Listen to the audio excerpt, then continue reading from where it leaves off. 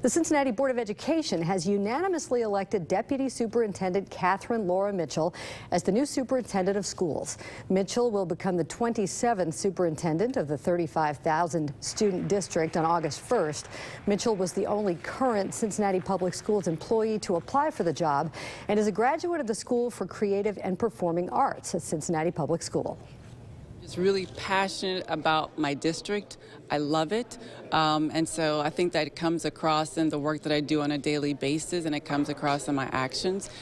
Current Superintendent Mary Ronan is retiring in June, or in July rather, after nine years in the district's top spot.